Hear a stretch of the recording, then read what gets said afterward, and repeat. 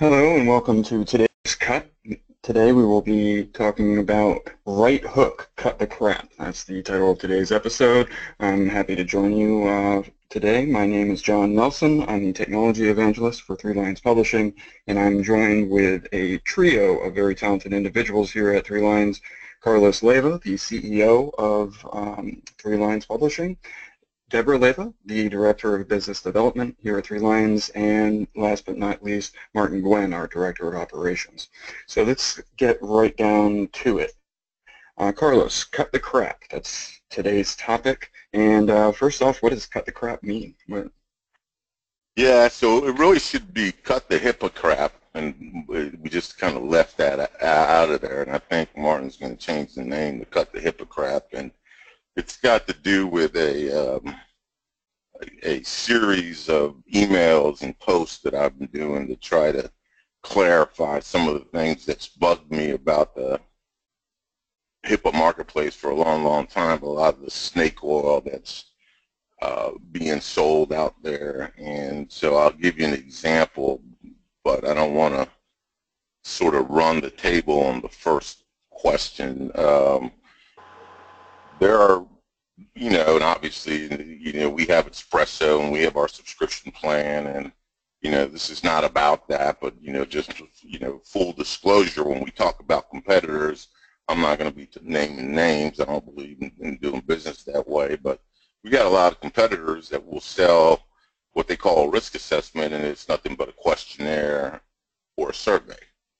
Okay, now you might you might be conned into believing that that is an acceptable risk assessment, but in fact, what HHS has uh, endorsed um, implicitly, if not expressly, is the NIST methodology for conducting a risk assessment that's captured in NIST um, SP 800-30 Rev 1, which is, you know, the risk assessment standard that that um, Espresso embodied, where you have threats and, and vulnerabilities combined, and you have to multiply multiply that times an impact, you get a risk, and, and so forth, right? And so, uh, you know, it's caveat emptor. I don't believe that these other things are going to pass at the end of the day for uh, a valid risk assessment. I believe that the HHS will ultimately say, you know, yes, you're free to choose a methodology. They made that clear in recent guidance. And that recent guidance was really, you could write Espresso. It could have been an Espresso data sheet. It's, it says, do it this way, right? Um, and so I, I think the message between the lines, and not so subtly, is, yes, you're free to do something uh, that's not exactly like this, but you know what? It ought to be as good as this or better. Okay, and uh, uh, so if, if you believe you've done a valid risk assessment because a vendor has uh, given you a, a list of 300 questions to answer, then you probably are, um, you know, first of all, you probably misspent a lot of money because they used that risk assessment, quote unquote, to sell you something else.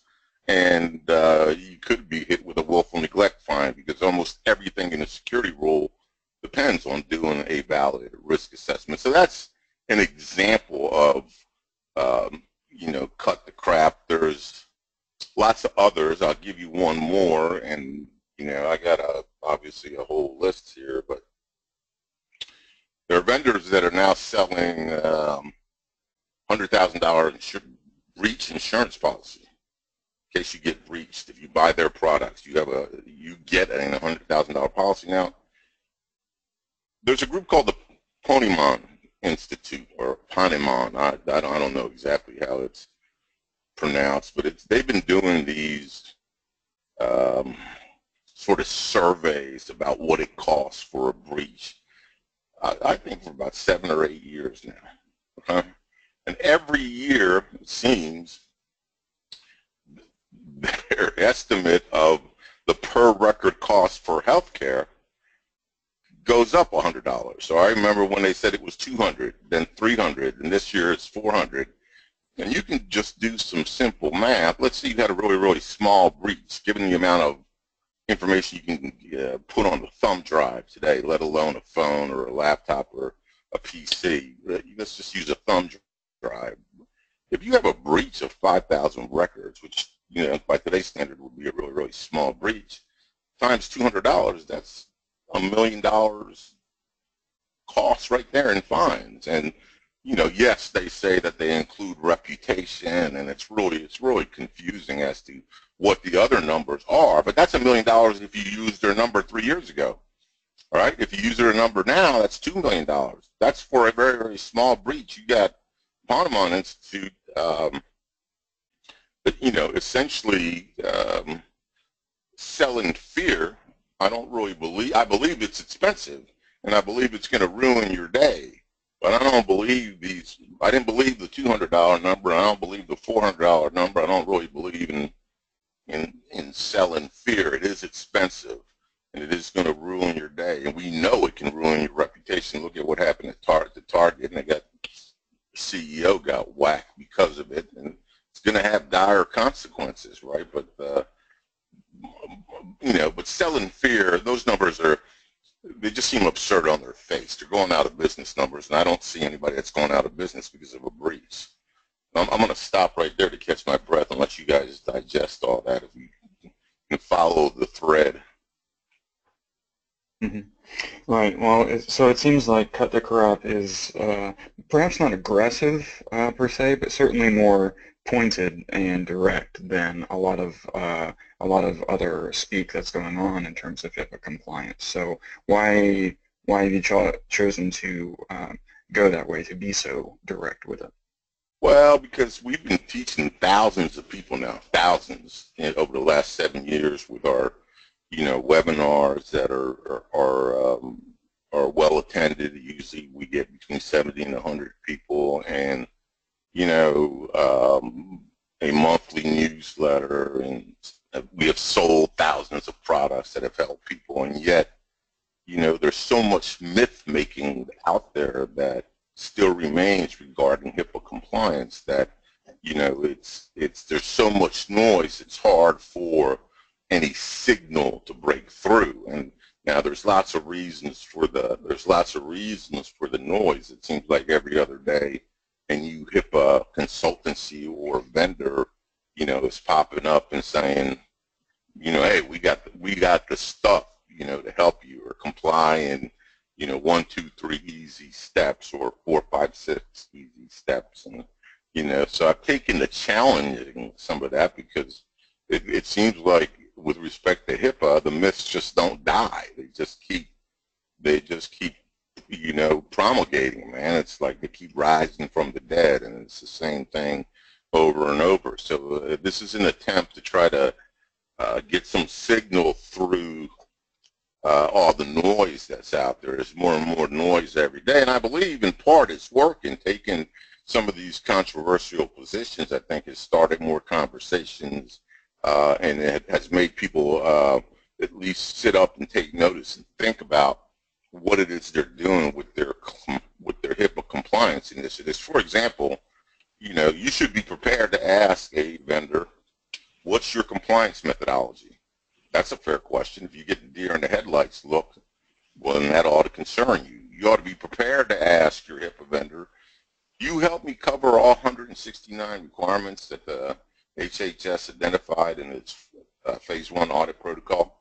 It actually it actually identified more in phase two because they, they counted it different. But, you know, again, you know, you, you need a HIPAA vendor that's helping you with all three rules, the privacy rule, the security rule, the breach notification rule, not just one rule, not just part of a rule, right? So you need, and the consuming public, for lots of different reasons, some of them historical or just not that aggressive. They just think that it's the old HIPAA with a new twist, which meant all they needed to do was fill out some paperwork and some templates and things like that, and they were good to go. Okay, and that's clearly not the case. HITECH was meant to change all that.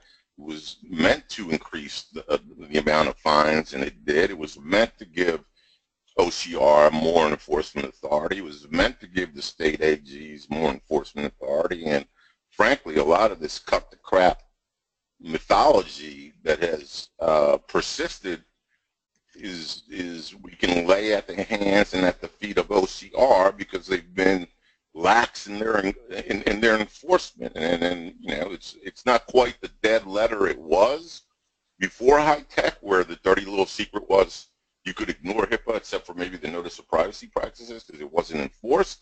Not the case now. The big difference is the 800 pound gorilla breach notification, which if you have a breach, you know, of over 500 records, uh, then you're going to wind up on the HHS Hall of Fame. You're going to get it audited by definition, and so that was the game changer. But outside of outside of breach, you know, H OCR has really really been lax, to say the least, in, in, in its enforcement and its proactive enforcement activities. And it's really surprising because the HITECH Act said any fines that were generated would return back to HHS coffins for more enforcement. And I, I think I re recently looked at a number that uh, they've gener generated, I believe, since the HITECH Act, 45 million in fines. Now, you know, I know the government is not the most efficient player in the marketplace, but it would just seem to me, um, you know, as an attorney and an entrepreneur, that $45 million would buy you you know, some enforcement. So I, you know, I would question where does all this money go? Right, and what is this? What is this? You know, here we are in 2016, and uh, OCR's idea of being aggressive is they're going to do 200 desk audits uh, to uh, BAs. And a recent number of total number of BAs, okay, and these numbers are, need to be validated, but they were HHS's numbers, okay, were 167,000 total business associates. No, I'm sorry. No, I'm sorry. Not 167,000. That the average was 167 per covered entity.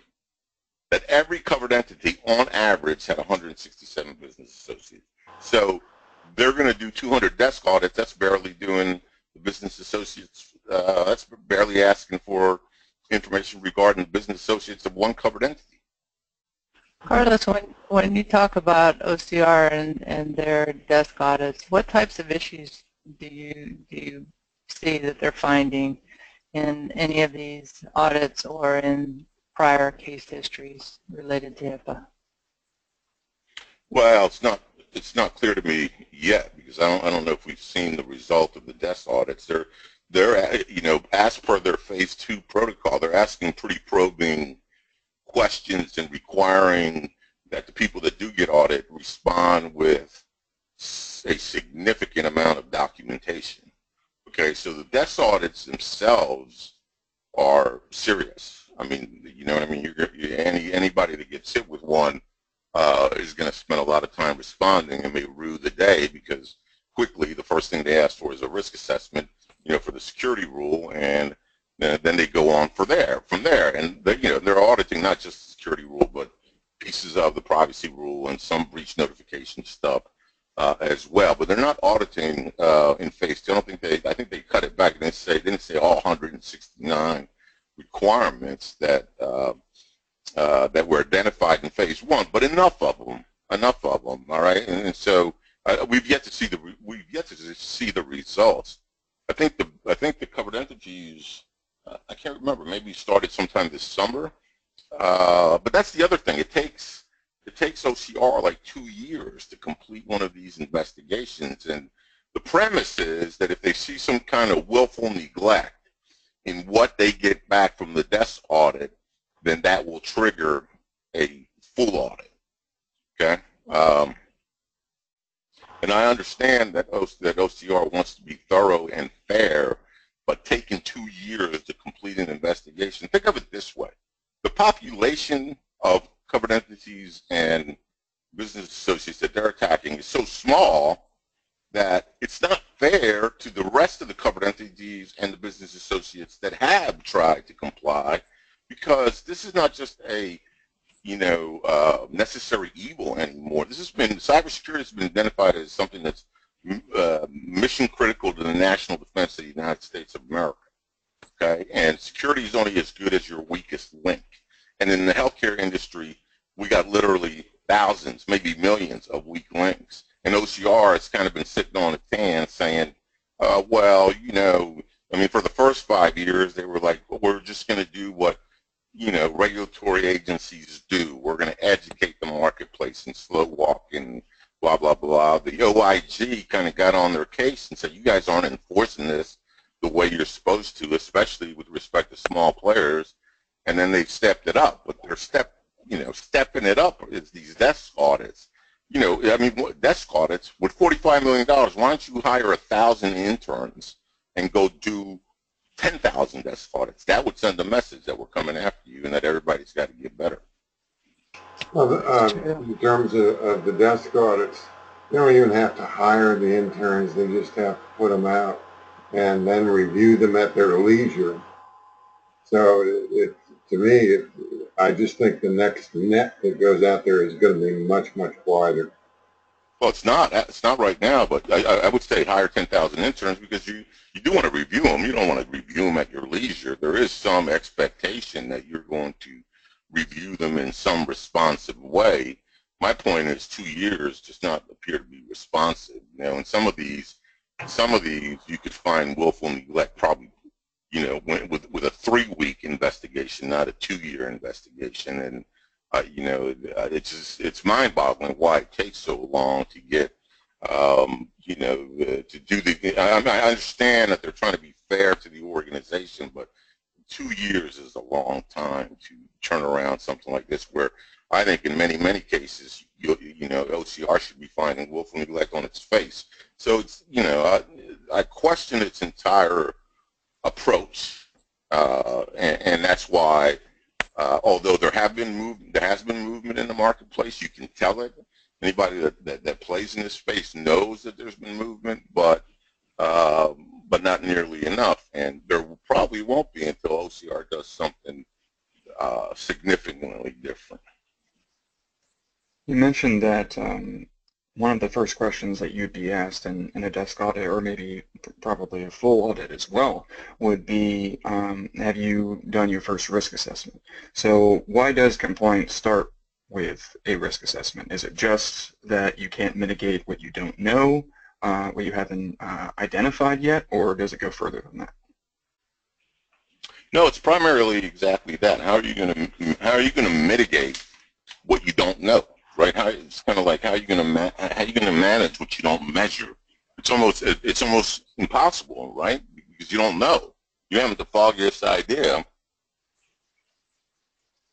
And so the rest of the security rule is kind of presumes that you've done a risk assessment and uh, I, not, not all of it, but a lot of it falls out of or is built upon that foundation. Your risk mitigation program assumes that you've done a risk assessment and then you've simplified and then you selected what controls you were going to attack and then you monitor and then you report and then you do another risk assessment, right? I mean, Espresso is built to help you quickly identify all those 29 controls uh, in the security rule that need to be implemented, right? And if you're doing a risk assessment and not identifying controls to implement, then you got to ask yourself, well, what are you doing? Because whatever it is you're doing might help you improve your security against the bad guys, but it ain't helping you comply with the security rule. And yeah, you kind of want to do both, but you don't want to miss these 29 foundational controls that you need to implement. And that's in fact what they are. They're, you know, in today's uh, day and age, those controls identified in the security rule, both addressable and required, are nothing more than IT 101. Now, I get that IT 101 is pretty, it's non-trivial for an ambulatory practice with, you know, a few docs, you know, a few nurses and an admin, but still, everybody needs to realize that that's just the cost of doing business today. You can't stick your head in the sand and say, we're going back to, you know, the good old days when everybody was on paper and we didn't have this breach nonsense. We're not going back. I mean, cybersecurity is not going away, right? It's it's part now, part now of, you know, the the mission critical to the national defense of the United States of America. It's one of the top one or two problems uh, that uh, the next president is going to have to address. We all we hear, you know, we hear all kinds of reports of Russians hacking us, us hacking the Russians, that's just not going to stop, right? So this is not this is not a fad that's going to go away. Now I do believe I do believe that there's a generational problem here. I believe that the old docs, because they didn't have to comply with HIPAA, it was HIPAA, SMIPA, don't bother me with this crap. You know, I'm a trained doctor, I save lives, I don't have time for Big Brother and all this bullshit, okay?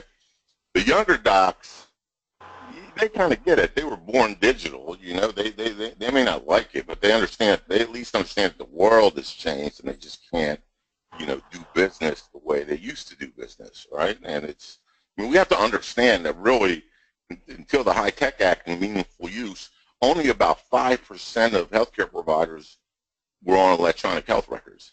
Now that number is much larger, and obviously then the problem grows because you got this all this EPHI that you got to protect. But you, we, we have to keep in mind that that change has occurred, you know, mostly within the last five, six, seven years. You know, so it's a, it's a, it's a huge change. The ones that uh, were on electronic records before um, HIPAA came along, those records weren't adequately protected to begin with. So they, they, they're sitting there looking at, and I hope they're getting the message they have to be protected. I don't know if they are. Well, that's likely true. Yeah, that's likely true. I mean, because, um, yeah, I mean, there wasn't that much talk about, you know, enforcement of HIPAA, and so they, they, they weren't worried about it as much. You didn't hear about these major breaches, and, you know, now a lot of the EHR vendors are guerrilla companies that didn't exist before, and, you know, most of their services are on the cloud, so they're doing a much better job on security, but, you know, that, that, that that's only a small piece of the puzzle, you know, and that, that's another one of those cut the crap you know, where uh, product vendors say that our products are HIPAA compliant, where no product, Espresso, uh, and any other product you can think of that touches HIPAA can advertise as being HIPAA compliant because the only HIPAA, HIPAA compliance only pertains to covered entities and business associates. There's no certification body that says, you know, this is a HIPAA compliant product, you know, like the FDA might for a drug, right?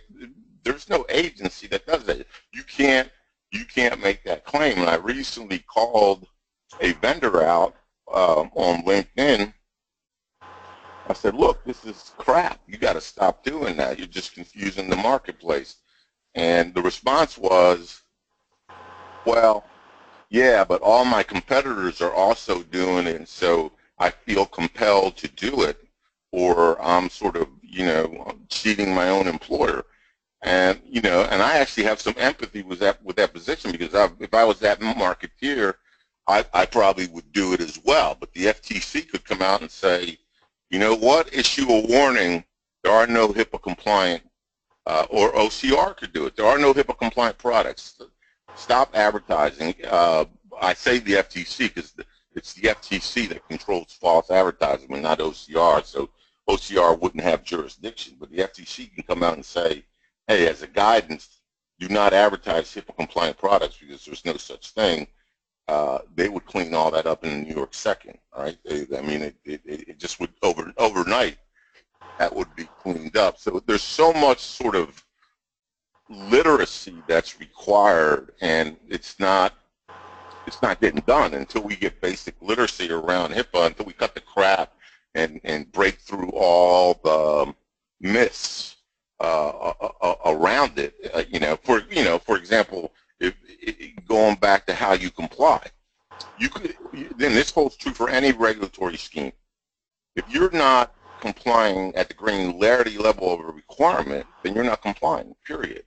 Okay. If you don't have policies, procedures, and tracking mechanisms to track process results at the granularity level of a requirement, then you don't have visible demonstrable evidence that you complied with that requirement. You can't have this sort of I comply with HIPAA at, at some abstract level.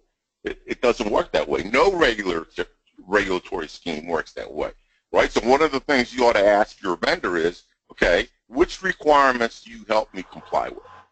I want you to tell me, right? And that presumes that you've identified the requirements. Now, we weren't surprised when HHS came out when came out with their uh, OCR audit protocol because our products had already broken down the rules into their requirements, right? That was the whole underlying thinking around the security rule checklist, privacy rule checklist, and in a slightly different way, the breach notification framework, right, was to cover all the requirements. And it turns out that when OCR came out and said, here are the requirements, they did nothing more but actually just list the requirements or enumerate them.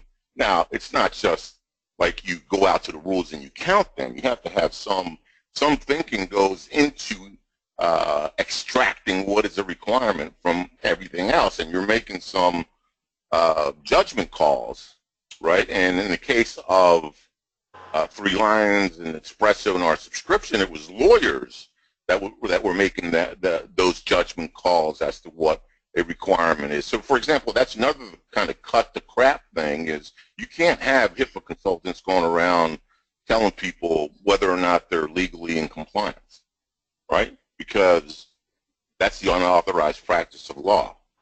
That's only the purview of lawyers that can give you a legal opinion as to whether or not you're in compliance. Now, a technical consultant can help you implement encryption. They can be knowledgeable of the rules and say, this is my interpretation of what the rules say. What they can't say is, after we're done, you're going to be legally in compliance.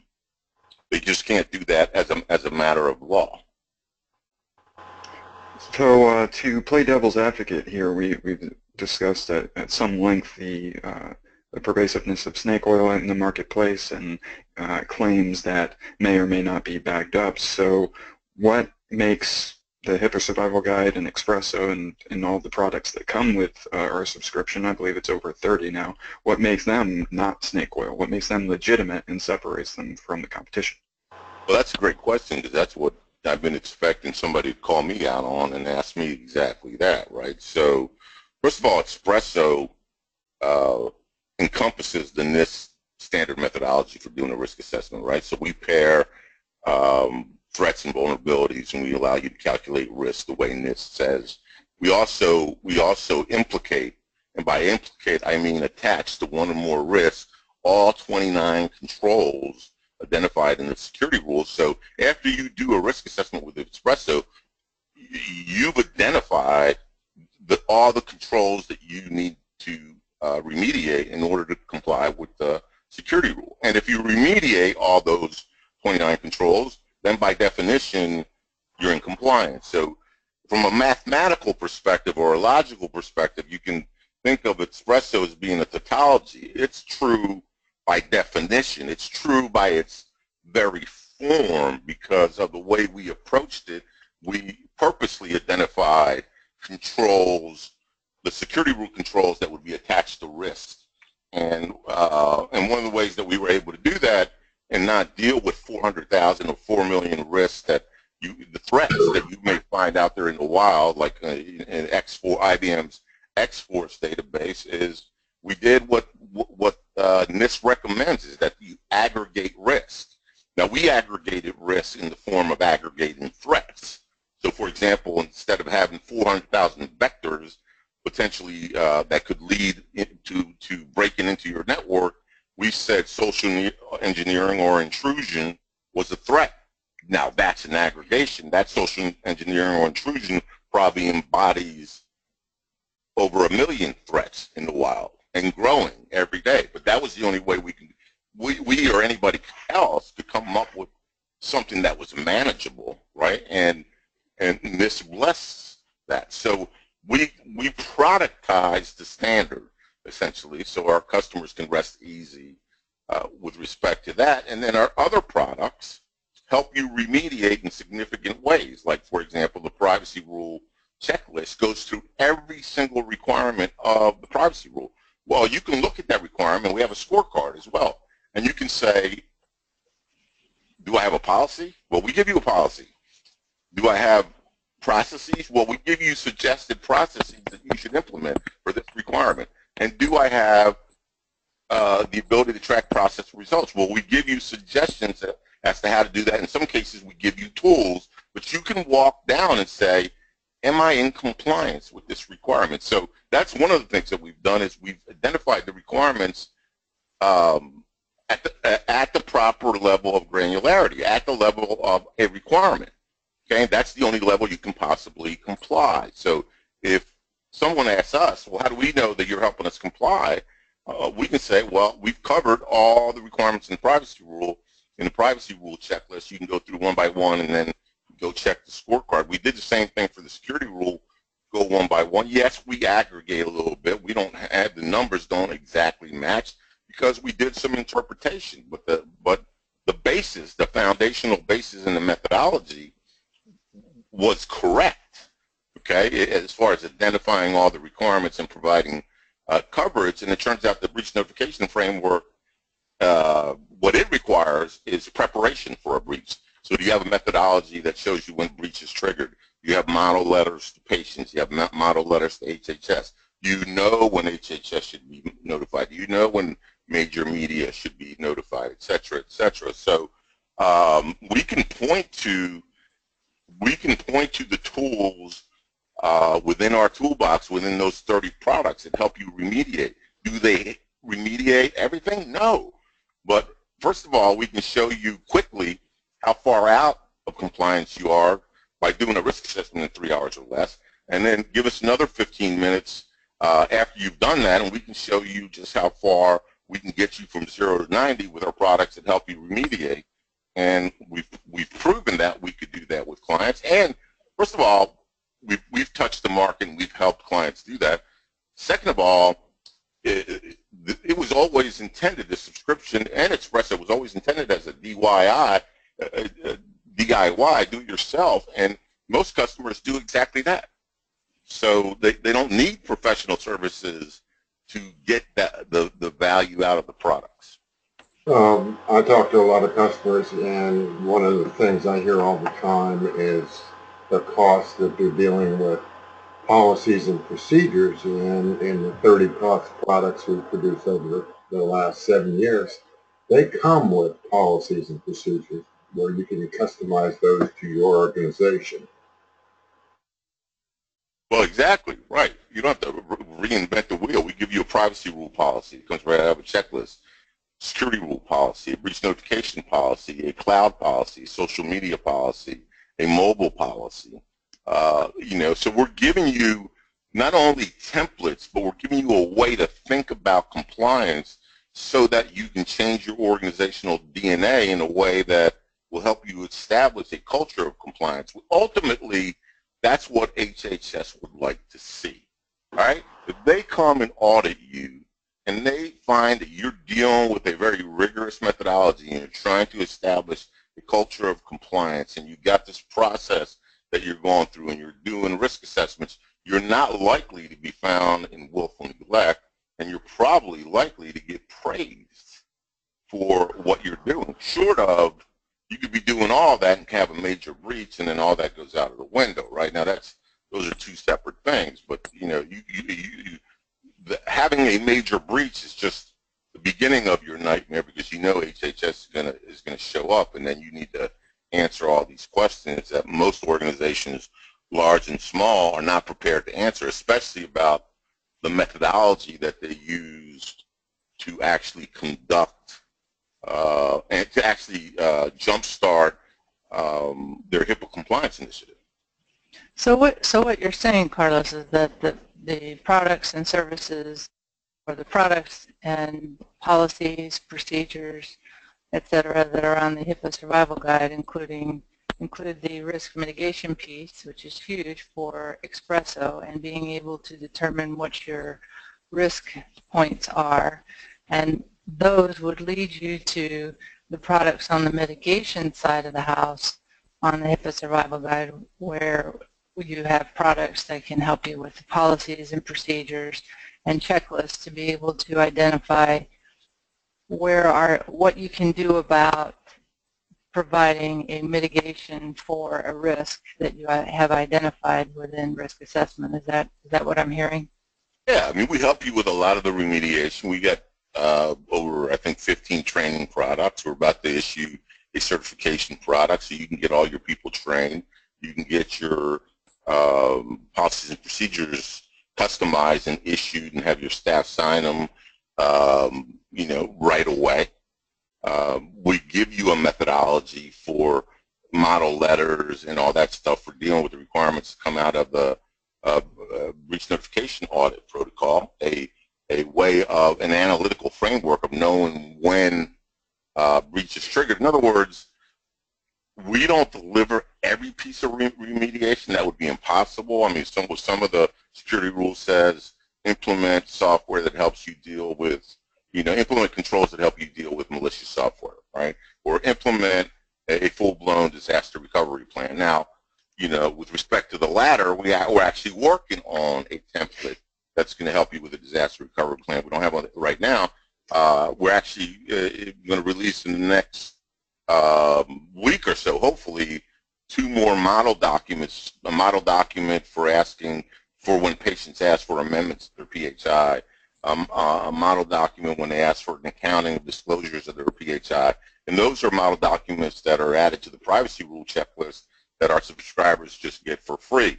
We're also adding um, a training spreadsheet that keeps track of when your people were trained and which one of the five categories. Now, we, we actually have, uh, we've combined the audit because the, the, audit um, training products probably don't need to be um, taken by the, uh, security officer and the privacy officer, but we have training for um, breach notification, we have training for the privacy rule, we have training for the security rule, we have training for the HITECH Act, and we have training for how to conduct an audit. Okay. And, and is there online training that they get with their subscription? They get all this with their subscription. Everything that we're okay. talking about, everything that we're talking about right now, they get with their subscription, and each training module has a quiz of 20 questions and and the answer key. So a privacy officer uh, can administer that test. You get a 70, you get a passing score. If you don't get a 70, you watch the video again and take take the test again, right? It's kind of an open PowerPoint sort of way to go about it. But you know, there, there's um, we have a roadmap for remediation built into the product. It was totally intended to do uh, do it yourself, except we recognize that sometimes customers need a little bit of help, and then uh, Digital Business Law Group, from a legal perspective, can go in there and sort of help them navigate and get them uh, jump started, which we've done recently with a particular client, and um, and in about 10 hours, 10 to 12 hours, they were way up the literacy curve. Part of that is that just doing a risk assessment through Espresso forces you up that literacy curve because it forces you to deal with this concept of a risk assessment that's really, really an abstraction a complete abstraction until you start actually touching it and feeling it and doing it, which uh, which which Espresso enables you to do almost right away. So it seems like a big part of this of this value isn't just that it helps with actually complying with uh, with the HIPAA and HITECH regulations, but also uh, the speed at which uh, at which you can climb up that curve. Because although it's it's a generic statement to say that we live in a fast-paced world, but it's a generic statement because it's a true one, and everyone is pressed for time. So being able to save that time seems uh, like I wouldn't say just as important as actually complying, but certainly a uh, a large factor. So yeah. let's uh, let's talk about costs. Uh, now, again, we're we're not going to um, you know dive in you know competitor by competitor here, but um, how does these uh, HIPAA Survival Guide relate in cost? Because there was one customer of ours where uh, I believe I believe his organization spent over four hundred thousand dollars on one vendor to assist them with their HIPAA compliance initiative, and at the end of that four hundred thousand dollars, they weren't really much further along. So how does the survival guide compare? Right. So, you know, we're not, first of all, we're not trying to do bait and switch, right? We're not trying to do a product. We're not trying to look like we're selling you a product and what we really want to sell you is fear and complexity so that you buy a bunch of our professional services and end up paying us $400,000, right? Uh, we do have a vehicle to sell some professional services and we will help you uh, if, if, if requested but uh, generally, it starts with a, a jump start from the Digital Business Law Group that is uh, $2,500 for 20 hours. And if you do the math, that's about as cheap as lawyer lawyers' rates get. So our subscription is $2,500, but it's not $2,500 like per person, right? There's some vendors out there that look really cheap, but then when you dig a little bit deeper, assuming that you can figure out their pricing from their website, and their website don't, doesn't just say oh, uh, yes, you know, you, you go you go and try to figure out what their product does, and you can't figure it out, right? Because there's no demos. What they say is contact us for a demo. I mean, there's no videos. They, you know, they're hiding the ball, right? And the same thing for pricing. So there's some vendors that look really, really cheap, but they only look cheap because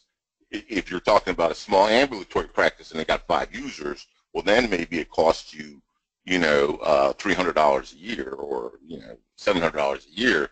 But if that same product was sold to an organization of a thousand, it might cost you seventy thousand dollars a year. So we feel like at twenty five hundred dollars, right?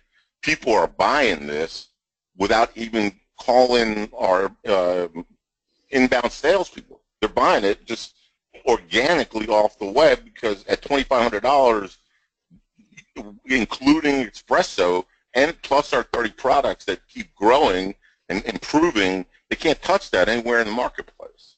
Okay, and they, they, yeah, that's one of the pieces of snake oil that I, I'm sort of want to cut the crap about is, is, is our competitors seem like they're more interested in hiding the ball than it's really explaining to people what it is that they should be doing to comply. Now, we've been teaching people, I personally have taught thousands and thousands of people in my newsletter and webinars over the last seven years, and people attend because I talk to them about HIPAA in a way that others don't. Okay, and so yeah, this is sort of like a, a, a kind of uh, sort of a righteous indignation now, cut the crap, and that that we really haven't gotten very much further uh, than we were seven years ago because of all the noise out there in the marketplace, right? And we're trying to we're trying to get some signal because although although something like the security rule is a monster, we can teach you how to hug that monster in a really really cost effective way and you pay us for by profit and loss center. So if you have one P&L that has a thousand people, okay, well then you pay us $2,500. If you're IBM and you got a hundred P&Ls, well then you got to have hundred licenses, right? But still, if you do the math, it's compelling from a cost uh, perspective, uh, from a price point perspective, vis-a-vis -vis what our competitors are doing. One thing I'd like to add to that that you left out, uh, $2,500 for all of our products plus espresso comes with a 30-day money-back guarantee. I don't see any of our competitors offering anything close to that. Actually, I, I saw one, and I'm, th I'm thinking we're starting to move the needle in the marketplace and have other people uh, ha have to follow suit because, uh, you know, there's another vendor uh, will, should remain nameless that has a, a dare to compare and um, you know obviously our our uh, that's what this cut the crap is about. Dare to compare. Give us 15 minutes of your time. We'll show you how far out of compliance you are. Give us another 15 minutes and we'll show you how much in compliance you could be. And then go uh, perform that same exercise to the the the litany of uh, competitors that seem to be emerging now, and you should be a much more well-informed uh, consumer if you go through that exercise. You know, so we started. Well, I was going to say I was going to point this out real quick about the other vendors. If they say you don't even have to ask them any questions, if they say they're HIPAA compliant, move on. Well, uh, yeah, I don't. I'm not. I'm not so sure that I'd be that that cavalier about it. I mean, there's some good products out there that there, there's all kinds of different products. There's there's really you know infrastructure products and and those are the guys that tend to say they're HIPAA compliant. They you know they they're they're really high tech. They're network monitoring. There may be they they, they may have uh, all kinds of sort of plumbing that help you comply. So it's not like you just need to write them off. It's just like they're not really they're helping you with a small subset of the requirements. And you know what I'm sort of harping about is don't don't give the illusion that somehow implementing your stuff now makes them HIPAA compliant because you're HIPAA compliant. You know, I mean the EHR vendors tried that and probably with a lot of success. Ah, don't worry about HIPAA. We got that under control. We're encrypting. Blah blah blah. Well, okay, you're encrypting. That's one of the requirements in uh, that's one of the 29 controls in the security rule. What about your disaster recovery plan? You know, what about um, two-factor authentication? What about you know, you, how you issue security. What, what about your termination procedures? I mean, on and on. It's clear that an EHR vendor wasn't going to help you with all that, right? So by vendors making that claim, it just causes a lot of confusion. And there's already enough confusion with respect to HIPAA that, that you know what I mean. So I don't, I don't necessarily suggest you should write the vendor off. I just think you need to call them on that and say, well, what do you mean by that? And tell me specifically, tell me which one of the requirements you're helping me, me meet, because that's what it comes down to. Tell me about requirements. I don't want to hear about you help in the abstract. Okay, everybody says that. We're, we help you comply with HIPAA. Well, okay, what does that mean? It's meaningless unless you can tell me, if I'm a consumer, it's meaningless unless you can tell me which requirements. Of the three rules, right, not one rule, which requirement of the three rules are you helping me comply with? So we started today's episode with discussing the uh, title of uh, Cut the Crap, but there's a second part of that title which is uh, fairly cryptic, uh, right hook. What does right hook mean in this context? Uh, well, right hook is somehow, it's a uh, Gwynism that shouldn't have been in there, but I just decided to leave it in there because it was easier to. Um, there, you know, we've been as you know, because JT, you participated in some, and Martin has participated in damn near all of them. Debbie's participated in a few of the thousands and thousands of uh, people that we've trained in our webinars every month. Um, and part of the cut the crap is is is uh, something that came out of a Gary V video, you know, that said. Uh, look, I'm, you know, I'm, I, I give away my stuff, right? I, I, I give away my best ideas. I mean, we weren't hiding the ball. I was telling you how to comply, you know, in our free webinars and newsletters. I wasn't charging you any money for that, right? You could have used anybody. You could used anybody's stuff. We were just saying this is this is the methodology you ought to adapt. You need to be thinking about requirements. You need to have visible, demonstrable evidence. You need to think about the compliance continuum and where you are on it you need to think about how you keep score, etc. Now, a lot of that, you know, was ultimately reflected in our products, but what the right hook uh, was, is, or punch to the stomach, actually, from Gary V, who, uh, those of you that don't know Gary V, just Google Gary V-E-E, um, and you'll, you'll, you'll learn about who he is. Uh, his strategy was, you know, I, I, give away my best stuff. That's what I do. Uh, but when I want to sell something, I'm just going to hit you with the right hook or the punch to the stomach. I'm not going to beat around the bush.